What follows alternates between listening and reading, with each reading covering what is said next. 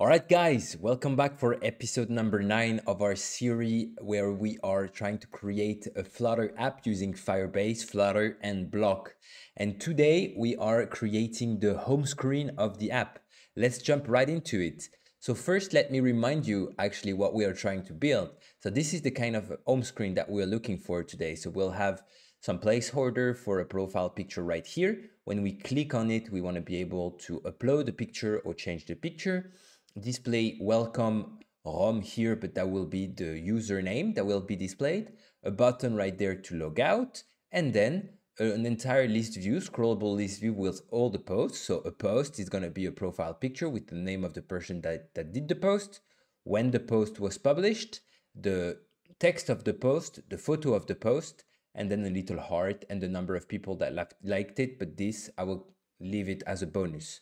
And a post can be either just text, text and a photo, or just a photo. And at the bottom right, we'll have a floating action button to create a new post and we'll focus on creating a new post in the next episode. Today, we're just gonna create the UI. So let's jump right into the code. So this is actually where we are right now inside our application. Remember in the last episode, we've dealt with the entire sign in and sign up screen and I've left you a little bit in the dark knowing if it was gonna work or not. Well, let me just tell you right here, it's working. So I've created, uh, if you navigate to your Firebase project, uh, I've, I've actually tested it. I've created an account, test account, and you can see that in Firebase authentication, I see it right here. And in Firestore, I see under the user collection, a new document with an email, an ID, a name and a picture. But don't take my word for it. Let's sign up with the new account. So I'm going to create rom at gmail.com with a password that I'm going to create. So you can see right here, I'm fitting all the descriptions, test one, two, three, four, and my name is going to be Rom. And I click on sign up and you'd see here, you'd be like, right, so everything's broken, right? But no, it's totally normal because if you navigate under lib, screen, home, home screen, this is the only thing that you have right now. This is for later on, but you have just a placeholder and the placeholder does that. To check that it worked, well, let's navigate under our Firestore and you'd see a new document has appeared with the email, the ID, the name, and no pictures because I didn't do it yet. And if you navigate to authentication, you'd see that the account was well created. So that's working perfect. So now let's focus on the home screen. So I've actually already, in order to test that, already created the, the base of what we want to, uh, to be building today. So uh, let me just take that under so I have it as the same time as I'm talking to you. Perfect. So what do we want to do today? So I've created this little home screen with a scaffold and there is a, app bar and I've just added the icon button in order to log out, okay? And you would see right here in the icon button that I've created on under the onPressed method, I've added a context read sign in bloc and add the event sign out required. And if I'm actually trying it now, you'd see that it's gonna give us an exception, right? Because we didn't provide it the home screen with the sign in bloc, okay? And to do just that, let me refresh. To do just that, let's navigate under the appview.dart file. And under here, you'll navigate to the home. And then you'd see if, well, the status is authenticated, we return home screen. And we don't want to return just home screen. We want to return a bloc provider of sign-in bloc, okay? And then as a child pass home screen. And now if I refresh my app and I'm trying to log out, you'd see that everything is working perfectly. And we tried to sign up. Let's try to sign in. So rom at gmail.com, test one, two, three, four, exclamation point, sign in, everything is working. Perfect. So now let's focus on the UI. So we've said we want some kind of an up bar. So we already have the button right here, but we want now some sort of icon to place a photo. So let's do just that. So not under actions, but we want to do uh, let we want to do a title.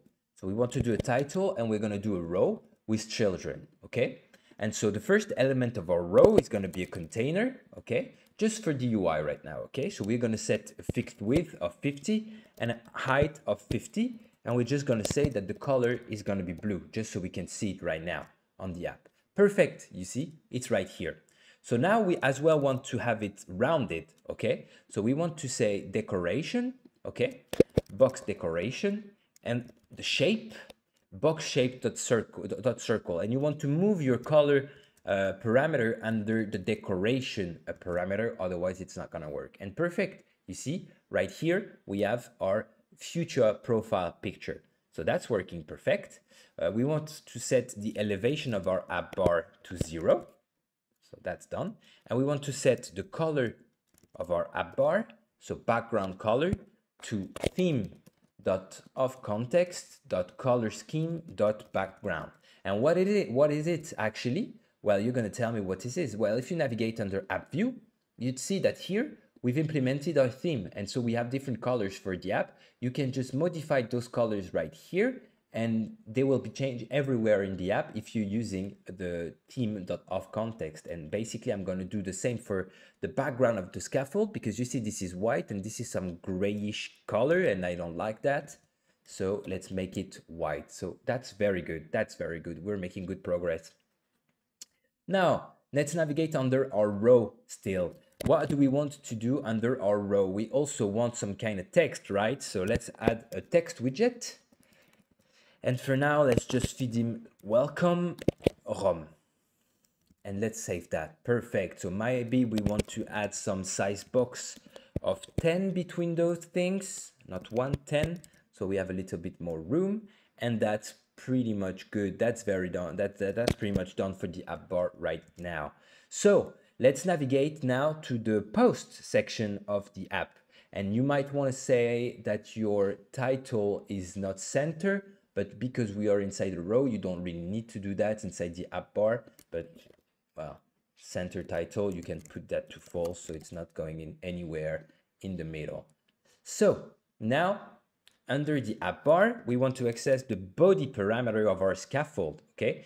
And remember here, we want to have a list view, okay? We want to have a list view of all the posts that are going to come. But we want this list to be built as long as we have new posts coming in, right? So let's do just that. So we're going to do a list view builder here. And you'd see that the list view.builder has a parameter that's called item builder. This parameter takes a context and an integer and expects to return a widget, okay? So now what kind of widget do we want to return? Well, we want to return a post widget, okay? But just for now, let's return a container, okay? Just in order, in order for us to see. And we can access as well the item count parameter. And let's just set that to four, for instance, for now. And so this is going to be the number of, of, um, of, uh, of container that we will display on the app later on. We'll be setting that to the length of the number of posts that we have. So let's go ahead and, and say that the width is going to be infinity, but the height is going to be, let's say, 400. And the color is going to be colors dot blue. Wow, sorry, that was a lot of stuff. My bad. Colors dot blue. Okay, let's save that. Perfect. Well, you'll be like, well, that's just one giant one, right? You, uh, you, you're right, but let's just wrap that with some padding and you'd see four separate containers. Yep, you see right here, four separate containers. So that's to be our different post, right? So now we have we, we did set a, a fixed height for them, but the height is going to be variable depending on if we have just a text, just a post, uh, a photo post, both of them. But let's for now just setting to 400 so we can actually see what we are doing. So we are letting it blue for now. Same, it's going to be the, the background color later on. So what do we want to have? We want to have a column to create our post. Okay, so a column takes some children. And the first thing that we have will have will be a row. A row that takes as well a children parameter. So we will have first the profile picture of the person that did the post. So I'm going to just go inside the app bar and copy what we did and paste it right here because that's the same and I want to be consistent. Perhaps let's make that red so we can see it. Okay, good. Uh, we might want to have as well some padding around this column. So we can set some padding right here and we set this padding to eight. Yeah, let's do that. Perfect. And we are lined up with the with the with the top as well, which we always like to be. Uh, so that's going to be for our user profile picture. Perfect. Then we want to have another column inside this row that's text children. And we're going to have two things. We're going to have, well, I'm going to take the text widget that we created right here. We want to have first the text. That's going to be the name of the of the person. So for me, it's going to be Rom. Okay. And we want to have another text widget under it that's going to be like uh, the, the date that we that the post was created. So let's say uh, uh, we're going to paste it like 2023 uh, 04 12. Yeah, something like this. So we, we have something like this, perfect. So here inside our column, I'm gonna make the cross-axis alignment uh, equal to start. I'm gonna add a size box between our photo and our text of a width of 10, okay? Perfect, so we are consistent with, with what's above, okay? And perhaps I'm gonna put away the blue stuff so we are perfect. And just for the sake of it, I'm gonna just do one so we are good. So let's add some styling to all this. Sorry, let's me, okay, constant. Let's add some styling. So here we're gonna access the style parameter, text style. So we want font weight, the font weight to be bold. Sorry, not normal, bold, okay, yes. The size of the text to be perhaps 18 yeah, that could work. That could work. And I want to add some size box between those two. This time accessing the height and setting it to 5 so there is a little bit of space between them. Okay, perfect. Uh, now we are pretty much done for the upper, upper, let's say the header of the post. Now we want to do uh, the post itself. So if there is some, some sort of, of, of, of text post or if there is some sort of, uh, of photo. So column right here, row right here, under the row. Then under the row, let's have, let's say another container, okay? And perhaps I'm gonna add the blue color again so it's clear for us. So I've set another container right here. But what I want to do actually is to say that this container is going to be a colors colors dot yeah amber for example and here you won't see anything because it has no height all right has nothing but perhaps let's say child and this is going to be this is going to be what? This is going to be basically either a column with the text and the picture or just the text or, or just the picture okay? And depending on those those those things we want to return anything else. So perhaps we can just focus right now on the text okay? Let's just imagine a post is only text okay? So let's do just that. So we want to return a text widget and add some text right here. So if you want to populate with some text and you don't want to just type some dumb stuff, let's navigate to the internet and tap lorem ipsum. You're gonna go inside the first website here and you can actually generate some uh, some uh, some words if you want to. Well, there is a lot of advertisement, but that's just how it is. They have to eat. So you can just copy the lorem ipsum that was generated and go back to the app and just paste that right here. If we save that, well, perfect. You see that our post is created. Let's add a little size box of height 10 right here. So it's a little bit separated. Let's just remove this color. That's ugly. Perfect. And that's pretty much done for our post right there. So if we just delete this blue color and delete the height, you will see that it's it's it's pretty much done. That that works just perfect. And right here we can set our account to let's say four, and you'd see that we have a list of different posts. Let's set that to perhaps eight so we can scroll a little bit through them and you'd see that you have a little list of all the different posts right here. Just for the sake of it to be more simple, I didn't add the pictures, but since we're gonna add the pictures right here, you'll see that it's pretty much the same thing if you want to add them inside your post as well. So for the home screen, we have to add one more thing, and that's gonna be a floating action button. So under the background color, because it's a scaffold parameter, you want to access the floating action button and setting to floating action button. On press, that's a required parameter, makes sense because it's a button. And you see I save it and by magic, I have a button on the a button on the bottom right.